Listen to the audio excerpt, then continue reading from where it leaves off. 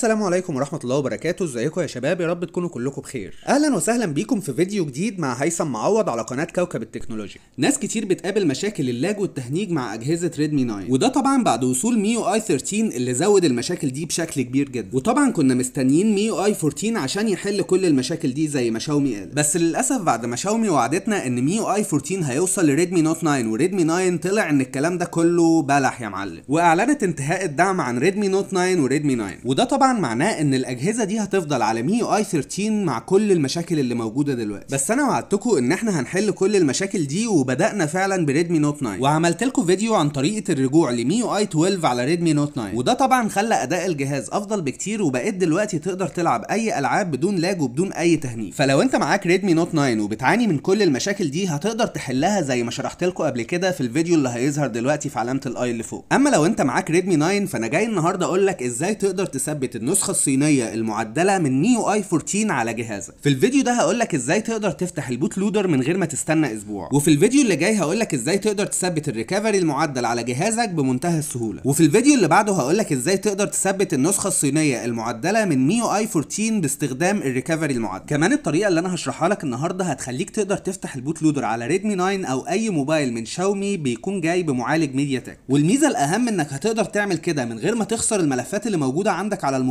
وبضغطة واحدة. فلو انت أول مرة تشوف القناة انزل دلوقتي اعمل like للفيديو واشترك في القناة وفعل الجرس عشان تكون معانا في كل الفيديوهات اللي جاية. ومن غير ما أطول عليكم يلا بينا نشوف الشرح. طبعا كل الملفات اللي إحنا هنستخدمها هكون سايبها لك في وصف الفيديو بروابط مباشره فأول حاجة هتعملها هتحمل الملفات دي وبعدين تعمل الخطوات اللي هقول لك عليها دلوقتي. هتفتح MTK driver وتثبت التعريف عشان الجهاز يتعرف على الكمبيوتر. وطبعا التعريف بيتثبت بطريقة سهلة جدا فبتدوس على next وبعدين finish بس أنا مش هثبته تاني لأن هو أصلا متثبت عندي على الجهاز. بعد كده بتروح على MediaTek bootloader unlock وتفك عنه الضغط. والموضوع ده هياخد معاك حوالي دقيقة ولما يخلص هتفتح الفولدر وتروح على driver وجوه الفولدر هتلاقي فيه ملف اسمه cdc-acm.inf فهتيجي على الملف ده تدوس عليه right click وبعدين تروح على install فهتلاقيه كتب لك the operation completed successfully. وده كده معناه إن الملف اتثبت بشكل صحيح. فهتدوس على okay وبعدين هترجع هتلاقي في ملفين اسمهم يو اس بي دي كي واحد فيهم مناسب للأجهزة ال 64 bit والتاني لل 32 bit فلو انت جهازك 64 bit هتختار اللي مكتوب عليه 64 أما لو 32 هتختار اللي مكتوب عليه 86 المهم هتختار المناسب للجهاز بتاعك وتثبته عادي جدا. زي ما بتثبت أي برنامج. بعد ما تثبت الملف ده هتلاقي فيه ملفين تانيين. الأولاني مكتوب عليه unlock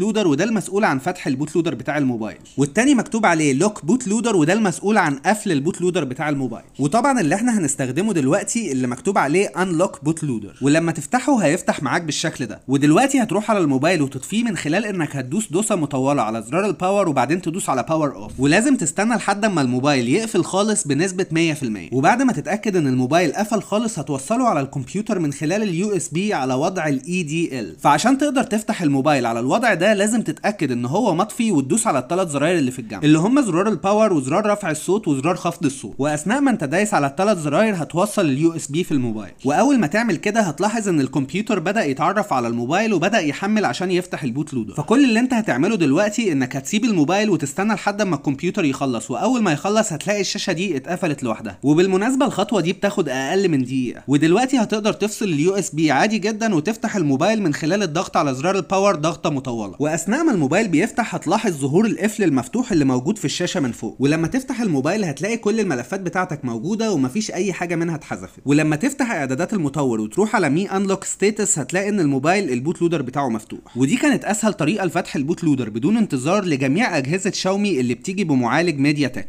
استناني في الفيديوهات اللي جاية عشان أقول لك إزاي هتقدر تثبت ال recovery المعدل اللي من خلاله هنقدر نثبت النسخة الصينية المعدلة من MIUI 14 على Redmi 9 وقبل ما أقفل كنت عايز أقول لك ما تنساش تتابعني على صفحة الفيسبوك اللي هسيب لك الرابط بتاعها في وصف الفيديو. وكمان كنت عايز أشكر كل أصدقائي اللي بيكتبوا لي تعليقات إيجابية. ولو استفدت من الفيديو ما تنساش تنزل تعمل like و subscribe للقناة وتفعل زر الجرس عشان يوصلك مننا كل جديد. بشكركم جدا لاستماعكم وبتمنى أكون فدتكم. والسلام عليكم ورحمة الله وبركاته.